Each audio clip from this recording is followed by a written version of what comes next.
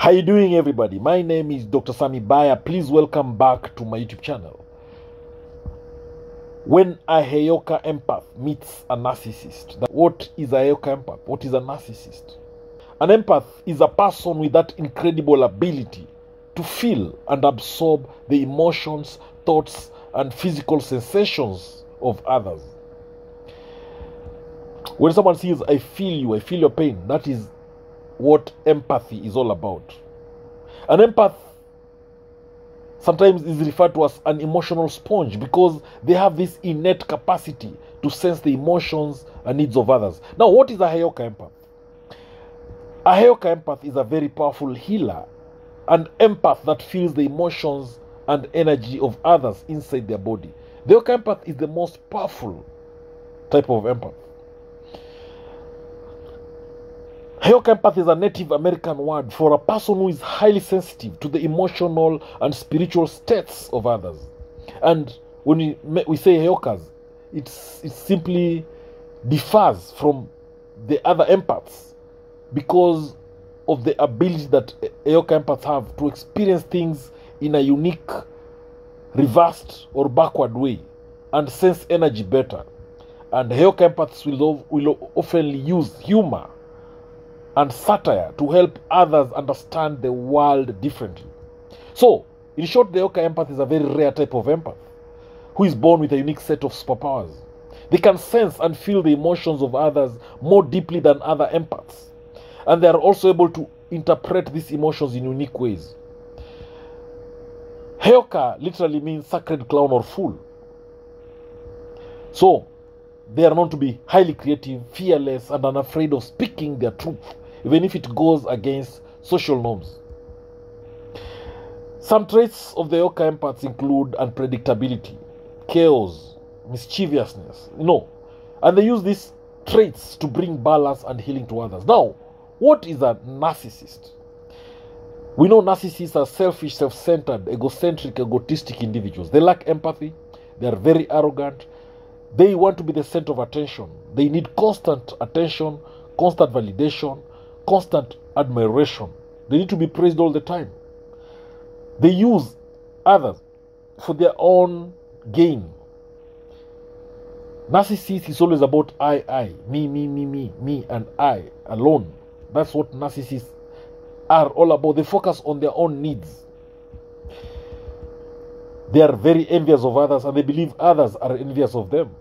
The relationship between a empath and narcissist is a very interesting one.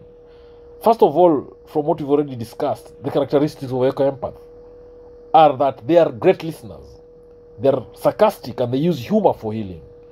Heyoka empaths, they are very compassionate and they have this unconditional love. They are emotionally attached to people who they love. They are daydreamers, they are highly spiritual, they are sensitive and they are passionate. They help others to heal and they are easily vulnerable. On the other hand, characteristics of narcissists, of, narciss- of narcissists is that they're only focused on their own needs. They only think about themselves. They are selfish. They are master manipulators. They need constant validation and constant attention and admiration. They choose empaths because they believe they can manipulate them. So, the big question is this what happens when a Heyoka empath meets a narcissist? We know that the intention of the narcissist is self centered, and the Heyoka empath is very empathetic. They're selfless, they care about others. An empath can sense your feeling, and a narcissist emphasizes on, emphasizes on how they feel for a given situation. So, the narcissist can sometimes pretend to be a good empath, but there's always this attraction between a yoka empath and narcissists because the yoka empaths want to be there for others, and the narcissists want to use others. Remember, the yoka empath is an emotional mirror. They sense an emotional reaction in you.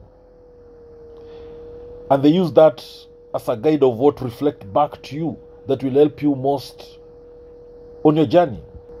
So when the Heyoka empath sees the narcissist, they expect the narcissist to love them, just like the way all empaths wants to be loved. They are attracted to the narcissist because they feel that the narcissist will love them.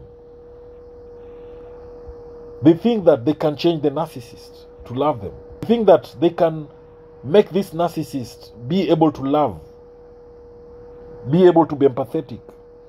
So the the empath they will try to heal this narcissist, hoping that once the narcissist is healed, will change, and that they'll be able to love the empath, that they'll be able to to be to to to to, to be caring to the empath.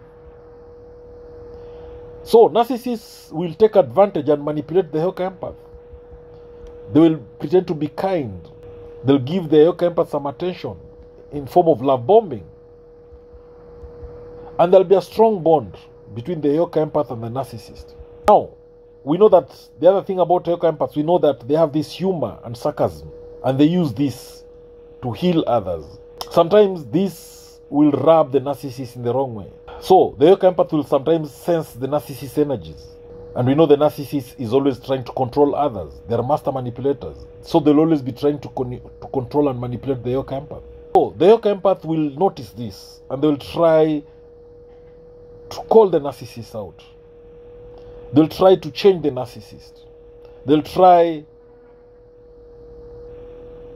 to silence the narcissist. The empath will try to heal the narcissist. At the beginning, there'll be so much attraction between the two during the love bombing stage.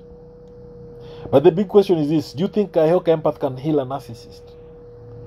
I think a empath cannot heal a narcissist unless the narcissist goes to a mental health professional, unless they accept that they need to be healed. The Heyoka empath might destroy the narcissist. They will destroy the narcissist entitlement, sense of entitlement. They'll remind the narcissist that they don't automatically deserve the best of everything. They'll remind them to be thankful for what they have.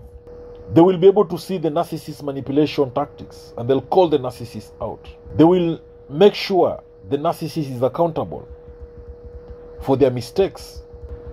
Remember, the narcissist has a fragile ego. The Heyoka empath will point it out. They'll confront the narcissist head on. So the relationship between a Heyoka empath and a narcissist is a tricky one. Hey, we'll continue this discussion in the next in, in another video about the Heyoka empath versus the narcissist. Thank you for watching this video. I hope you've learned a thing or two. Please drop your comment in the comment section below. Please subscribe to my YouTube channel. Thank you. God bless you.